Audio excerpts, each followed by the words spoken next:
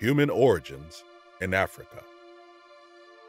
Historians, scientists, anthropologists, and archaeologists around the world are now in complete and unanimous agreement that the human race of planet Earth originated in Africa.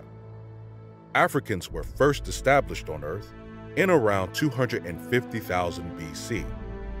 Around 50,000 BC, the Africans, who were the only human beings existing on planet Earth at the time, began moving out of Africa into Australasia, Arabia, Asia, and Europe.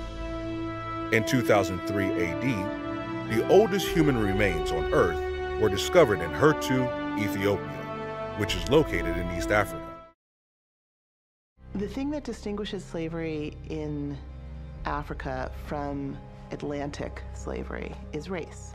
Europeans set in motion a system of slavery that was predicated on the idea that certain people were marked as enslavable. We've learned a great deal about the Middle Passage in the last 40 years or so. The volume of the trade involved the removal of about 12.5 million people from the African continent. The Middle Passage was the middle leg of a voyage that starts in Europe. The first passage is from Europe to Africa. The Middle Passage is the journey from Africa to America. And then the third passage is the journey back from America to Europe. The Middle Passage could take anywhere from two to three months. Men and women were separated. Men typically were held in the lower belly of the ship.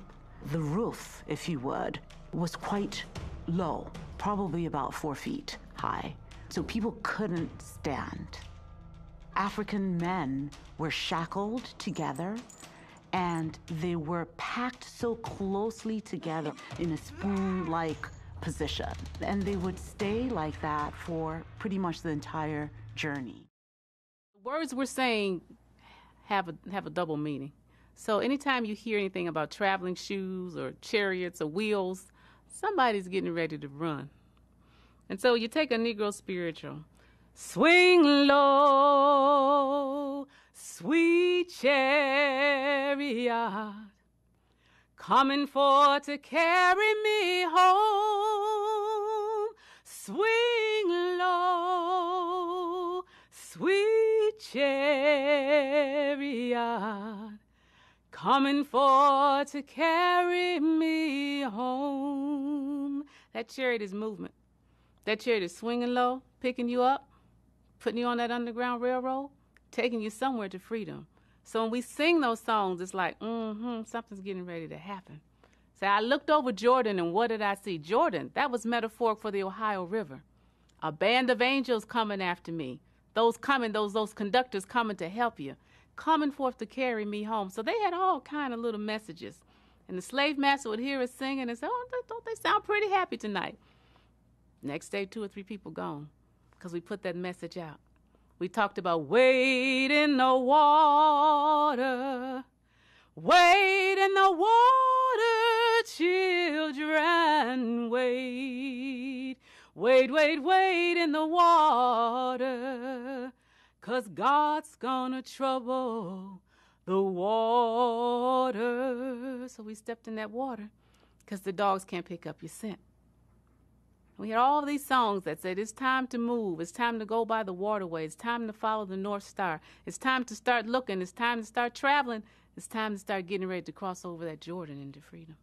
Still away to Jesus. Oh, Lord, they're going on to heaven. No. Still away home.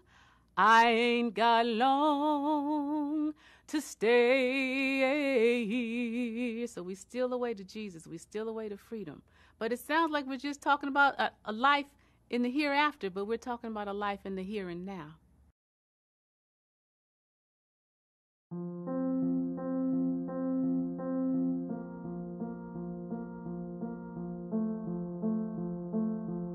You may shoot me with your words you may cut me with your eyes, you may kill me with your hatefulness, but still, like life, I'll rise. I refuse to accept the view that mankind is so tragically bound to the starless midnight of racism and war That the bright daybreak of peace and brotherhood can never become a reality. We declare our right on this earth to be a man, to be a human being, to be respected as a human being, to be given the rights of a human being in this society, on this earth, in this day, which we intend to bring into existence by any means necessary. Soul has no color, no shape, no form.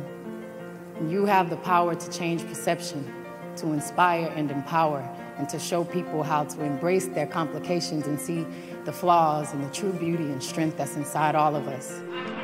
That's right. I have wrestled with an alligator. I done tussled with a whale. I done handcuffed lightning, throw thunder in jail. Only last week, I murdered a rock, injured a stone, hospitalized a brick. I'm so mean I make medicine sick. Change will not come if we wait for some other person or if we wait for some other time. We are the ones we've been waiting for. For those who marched, and for those who prayed, and for those who sang and bled, and for those who believed, and for those who died. I stand as 10,000 to the 10th power.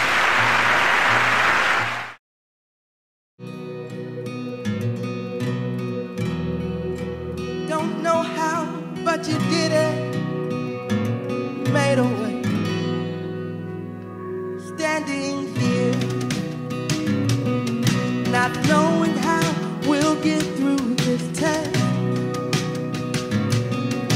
But holding on to faith, you know best. Nothing can catch you by surprise. You got this figured out, and you're watching us now. And when it looks as if we can't win, your arms and step in. And everything we need you supply. You got this in control, and now we know that you